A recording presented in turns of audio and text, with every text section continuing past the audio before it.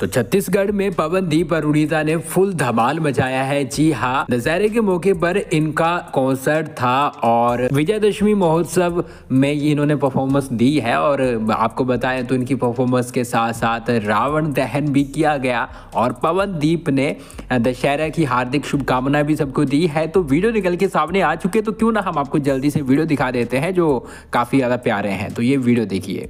Happy Dussehra. और बहुत बहुत धन्यवाद। बहुत सारे लोग दिखाई दे रहे हैं, समझ नहीं आ रहा कैसे बात कर रहे थैंक यू थैंक यू नमस्ते।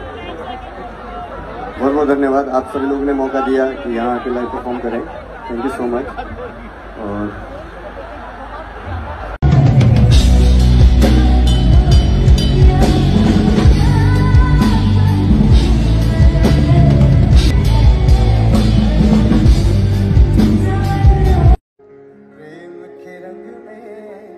ऐसी डूबी प्रेम के रंग में, ऐसे डूबी गया एक हीरो।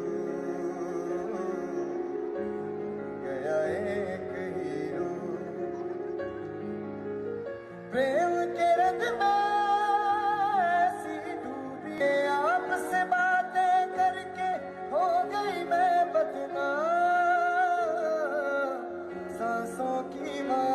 पे सिमरू में फीका नाम तो देखिए गाइज़ खूब धूम मचाई है इन्होंने और इनके गाने हैं, वो सभी ने बहुत ज़्यादा पसंद किए हैं। और पवनदीप ने तो पूरा समा बाँध दिया था, हालाँकि इनका जो स्वागत है, वो भी काफ़ी शानदार किया गया। एंट्री जो इनकी करवाई गई थी, वो भी काफ़ी ज़्यादा जानदार थी।